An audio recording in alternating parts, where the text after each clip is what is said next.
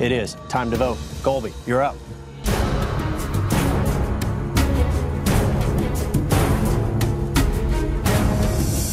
I'll write your name again, and if I'm up there in the final three, you'll still give me the million dollar vote.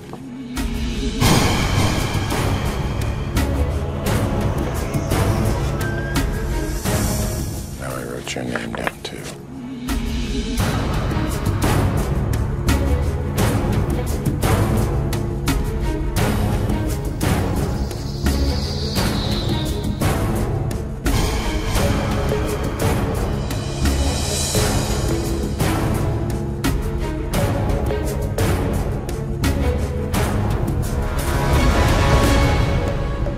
I'll go tally the votes.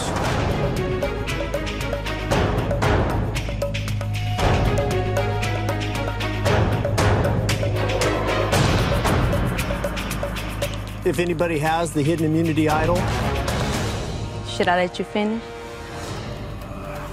no need.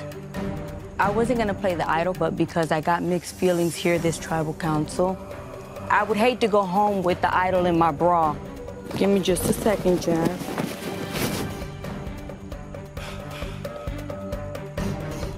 They didn't know. I have no idea.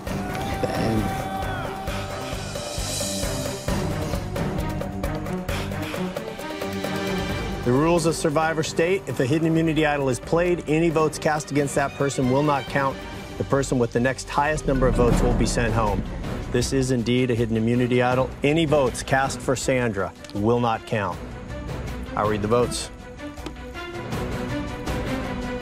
First vote Rupert.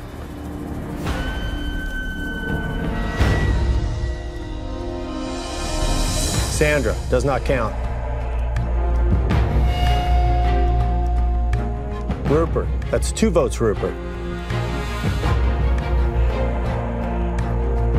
Sandra. Does not count. Two votes, Rupert.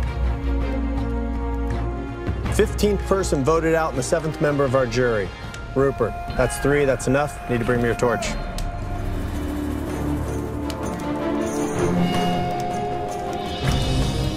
Rupert, has spoken.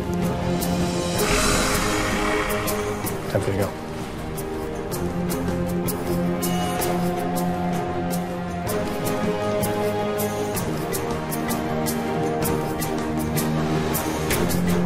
Congratulations, you've made it to the final five.